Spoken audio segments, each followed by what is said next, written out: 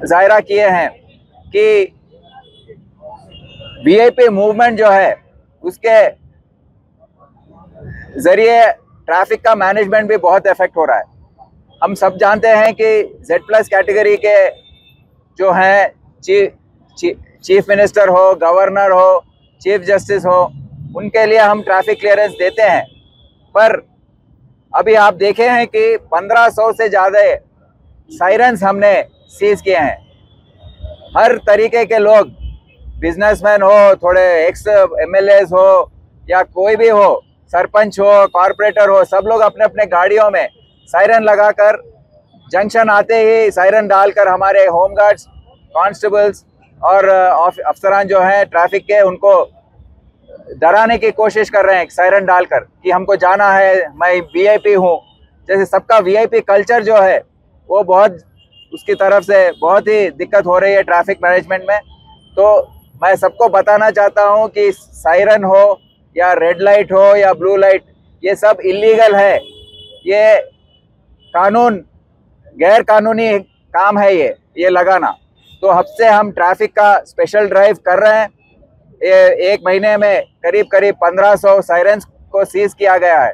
आगे चल के भी ये साइरेंस पे हम स्पेशल ड्राइव करते रहेंगे।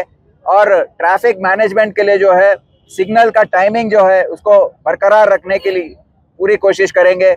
जब हमको कुछ वीआईपी का मूवमेंट करना है जो प्रेसिडेंट ऑफ़ इंडिया आए या चीफ मिनिस्टर का मूवमेंट हो उस समय ही हम थोड़ा ग्रीन का ग्रीन सिग्नल या सेमी ग्रीन चैनल का हम उ, उसका उपयोग करेंगे। तो इस तरीके से मैं यहाँ के एमएलए साहब जो है कौसर साहब उनको मैं बोला था कि वो भी आए, वो बोले थे कि आएँगे, पर आयन मौके पर वो आए नहीं। मैं क्यों नहीं क्यों नहीं आए, मैं कोई समझ में नहीं आ रहा, क्योंकि हम, हमारे ऑफिसर जब कोशिश करते हैं तो दखल अंदाजी उन्हीं की तरफ़ से होती है, ज़्यादातर।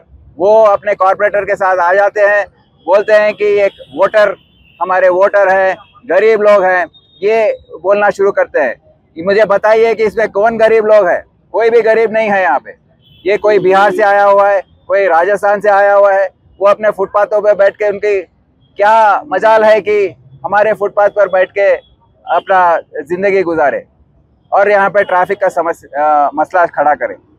तो मैं हर पॉलिटिकल रिप्रेजेंटेटिव से गुजारिश करता हूँ एमएलए हो कारपोरेटर हो, कि हैदराबाद ट्रैफ़िक पुलिस और Hyderabad city police law and order वाले भी इसमें हाथ देंगे, सभी का साथ दो और अगर साथ नहीं देंगे तो ट्रैफ़िक जैम होगा।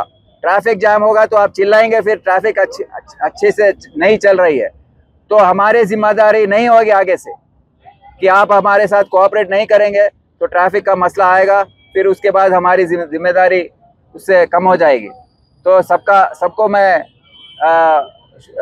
गुजारिश करता हूँ कि वो सब आगे आए और हमारा साथ दे ट्रैफ़िक मैनेजमेंट में।